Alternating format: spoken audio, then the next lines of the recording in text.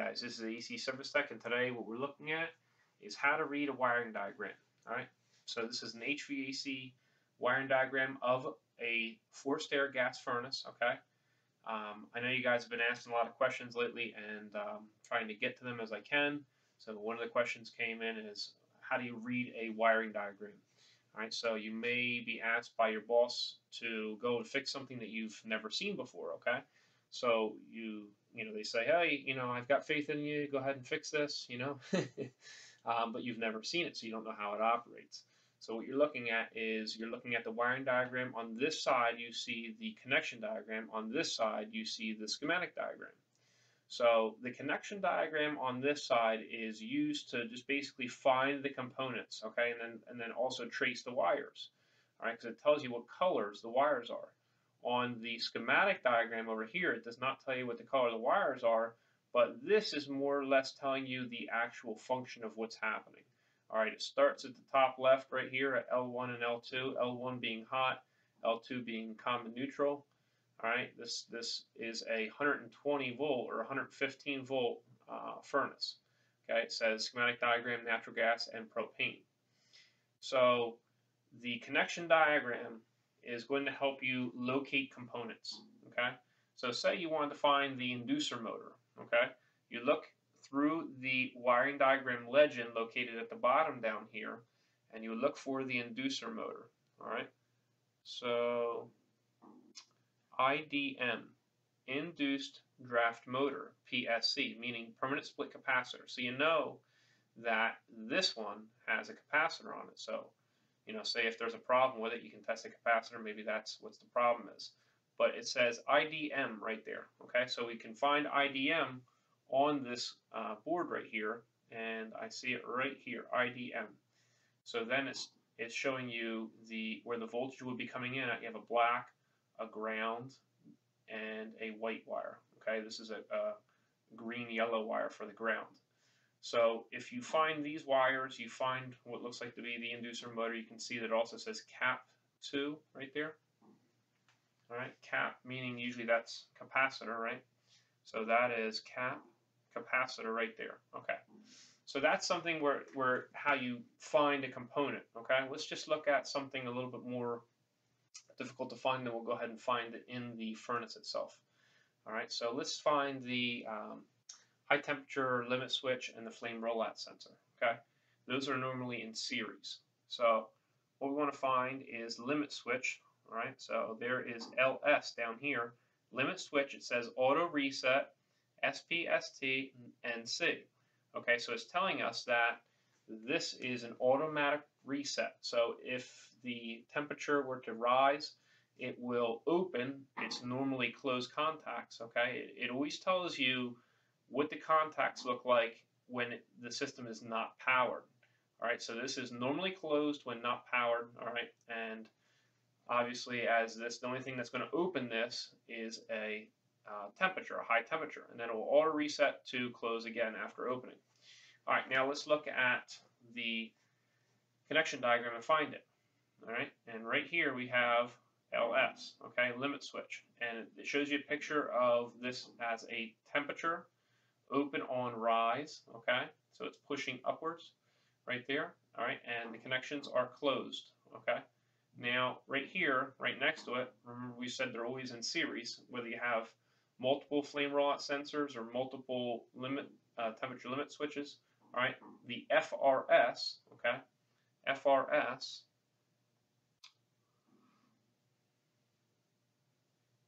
right here, okay? Flame rollout switch it says manual reset, okay, and that one's normally closed.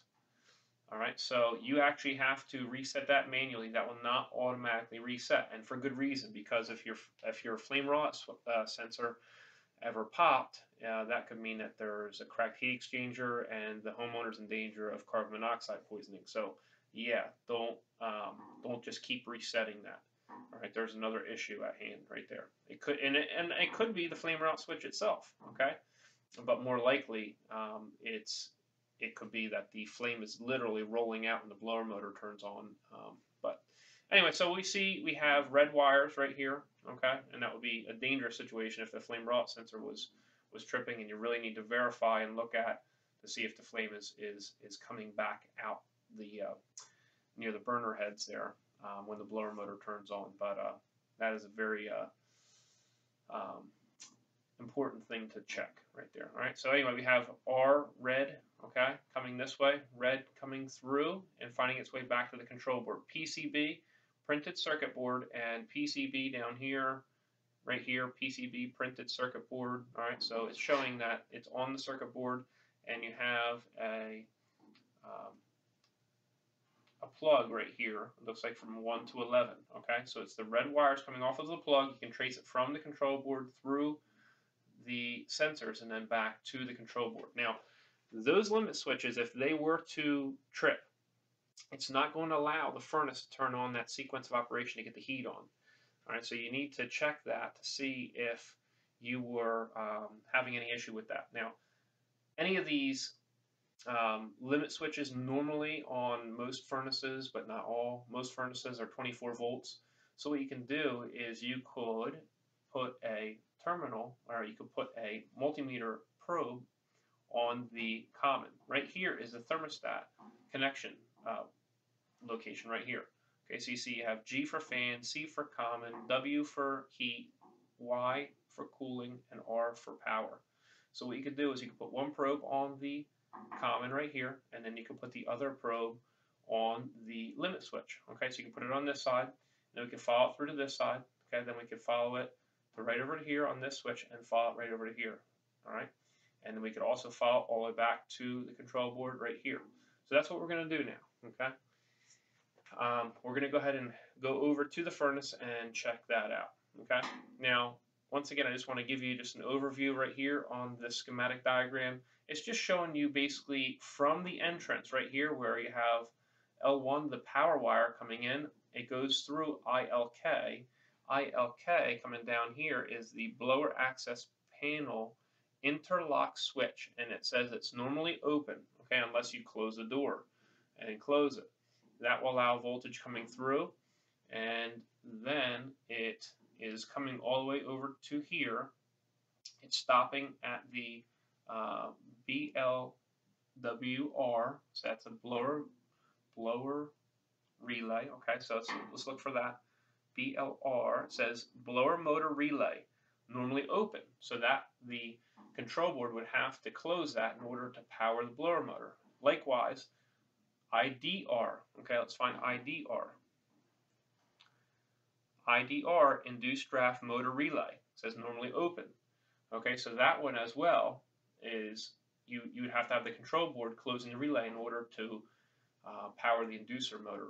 All right, but you do see it has direct power to uh, the transformer. Okay, it comes through the transformer and then it comes out the transformer to the common, which is the L2 common neutral bar right here. All right, see all these connections are right here. So basically, it's just showing the, you the voltage path, and then it comes through the transformer as 24 volts, and it comes through and goes into uh, sec 1, okay? And it goes through this right here, which is the fuse, okay? There's a note, it says number 6 right here, replace only with the 3 amp fuse, not a 5 amp on this particular one, just due to um, the, the transformer size, all right? FU1, okay, if we look at that over here, FU1 is a Fuse 3 amp automotive blade type factory installed. Okay, then it goes through there, and then it comes comes to your. Let's see here.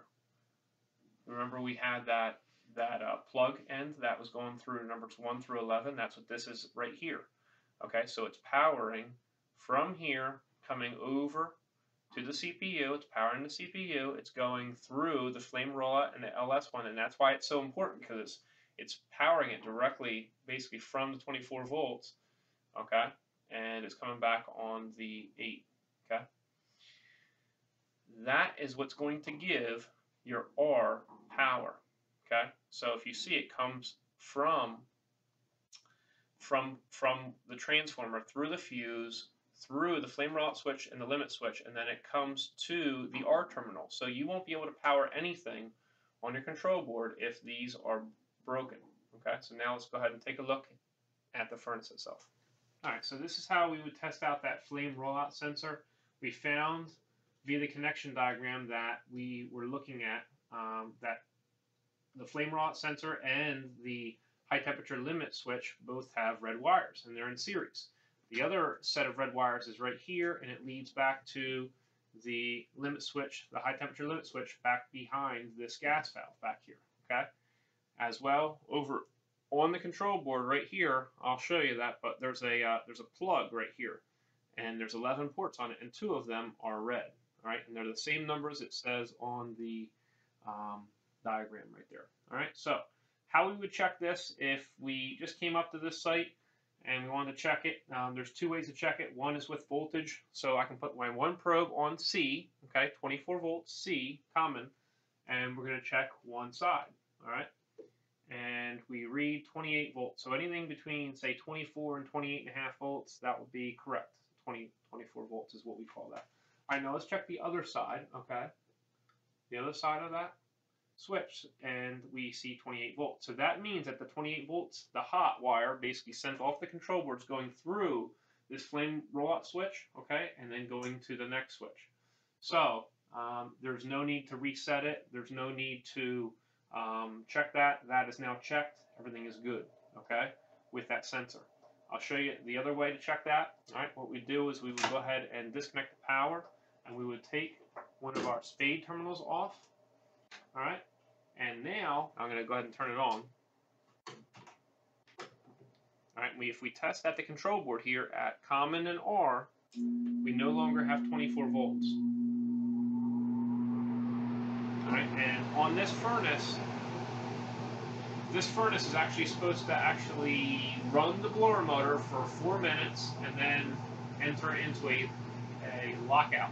All right, so that means that we do not have voltage from common to R here because this sensor is not letting the voltage through. The control board sees that and is running the blower motor just to cool things down in case there's a problem. It wants to cool the blower, uh, cool, cool, the heat exchanger all down. All right, um, but say we want to test that sensor out up top here. We turn the power off. We take our other spade terminal connector off. We would take our multimeter to resistance, and then we would check across the spade terminals. And we read 0.3 ohms of resistance. So it should be between, say, zero. It should be right around zero. It just it may have to do with um, your connection right there. Okay, now we read 0.3, 0.4 ohms of resistance. Okay, somewhere around zero to 0.5 ohms, something like that. Uh, but that, like I said, that that may just have to be with how hard you're pushing with your probes. You can have it on continuity, all right, and it would it would beat.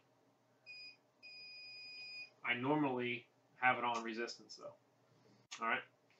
Um, it does basically the same thing. All right, so that sensor is good. So if it beeps on continuity, then you know the sensor is good.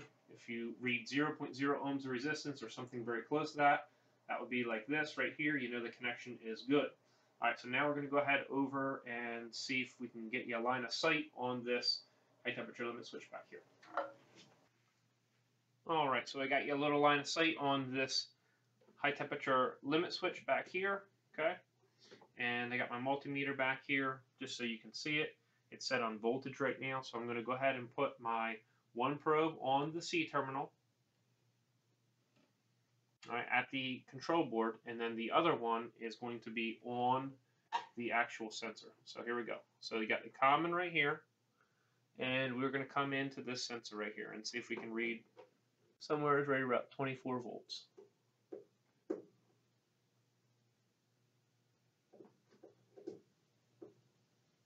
All right, so you see we got 28.05. All right, now let's check the other side of the sensor. All right, and you see we have 28 volts. So that means that that sensor is closed and everything is okay. All right. Once again, if you wanted to turn the power off, you could take a resistance value reading. We could turn it to the what looks like the upside down horseshoe. Turn it to a resistance value reading and check that sensor as well. Okay, now that we're set on resistance, We'll go ahead and check our sensor. And So you see that you have 0.2 ohms of resistance, somewhere right around there. So 0.0 to 0.5 uh, or so, that just has to be with, uh, that just has to do with how tight your connections are with your uh, probes right there. All right, so that sensor is good. All right, so now let's go ahead and check for voltage at the control board. All right, so you remember that whole mess of trying to test each each temperature sensor individually. Um, if you want to test the resistance value, you got to turn the power off, take the terminals off, read the resistance, try to get them back on. And in the case of the one high temperature limit switch, it was behind the gas valve. So if we look at the connection diagram, we're going to be able to tell where that PL1, where the two red wires are coming off of the control board at, right there and right there. So by using your wiring diagram, you can figure out how to do, how to test, say, in this case, high temperature limit switch and hot, uh, flame rollout switch sensors very quickly. All right, so what we can do is we can put one probe on the common and we can put one probe right on the red. And right there you see we have 28 volts, okay? Now let's check the other red wire right here, and right there we have 28 volts. So that proves that all of our sensors right there are, are high temperature limit sensors and and um, you know your flame rollout sensors. Say you have four of them, you know you can quickly test them right there that way. All right. The other thing is you wouldn't even have 24 volts coming from common to R. Okay. Because if one of those sensors was off, then you would have no voltage from common to R with the power power there, and I'll show you that real quickly here. Right, I'll just pull one of these off. We'll turn this back on, and then we'll test from common to R. And right there, we do not have 24 volts. Okay?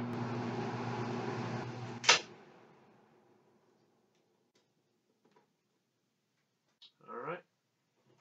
So I went ahead and, and plugged the sensor back in, but that just goes to show you if you if you learn how to read those wiring diagrams very well, um, you can figure out how something works. You can figure out shortcuts to um, testing everything and troubleshooting.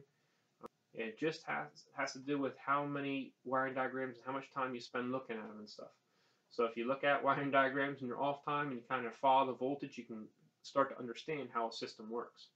All right, hope you enjoyed yourself. We'll see you next time at AC Service Tech channel.